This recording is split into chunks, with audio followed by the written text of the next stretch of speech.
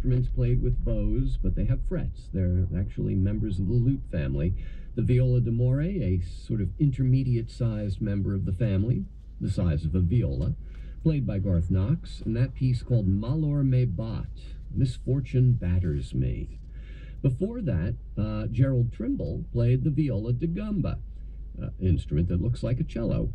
And uh, we heard his piece, The Moor's Revenge. And when I say his piece, it's actually his medley of two pre existing tunes a, a Moorish piece from, from Spain in medieval times, and then uh, the thing that sounded like flamenco meets Celtic music was, in fact, a jig by the 16, uh, the 17th century English composer Henry Purcell, uh, Malheur me bat, the Garth Knox piece, based on some 14th century French music. So both of these musicians, with their uh, old instruments, their Renaissance Baroque period instruments, are looking back to the music of, of that time period as well.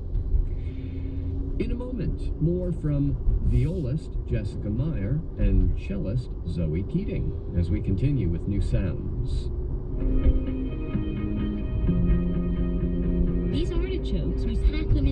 In load them into our old Land Rover, and drive them over to the Solidarity Fridge, she says. It sits on a city sidewalk with a tidy little fence around it. Anyone can deposit food or help themselves. It's not just the news, it's your next conversation.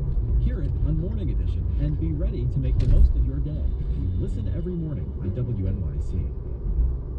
WNYC support comes from Workiva, creator of WDesk, helping Fortune 500 level companies with productivity, risk, and compliance with enterprise management solutions. Learn more at workiva.com. City National Bank Wealth Management, providing investment management, trust, and financial planning services to clients throughout New York. More information at cnb.com/wealth. Check us out online to get your complete New Sounds fix. Uh, all the shows are in our audio archives. You can hear any program anytime you like. The playlists will tell you what's on each episode of the show, and there's our free New Sounds podcast that you can subscribe to or just shows a la carte. And while you're there, connect with us via social media so we can keep you up to date on what we're doing here in the studio and with New Sounds Live, those concerts as they come up. In the background, a little more from uh, Gerald Trimble and his viola da gamba, and I mentioned at the beginning of the show that we first heard him back in the late 80s doing kind of Celtic flavored folk music. This is an arrangement of the Black Nag, but in a an arrangement that has traveled pretty far from the Emerald Isle.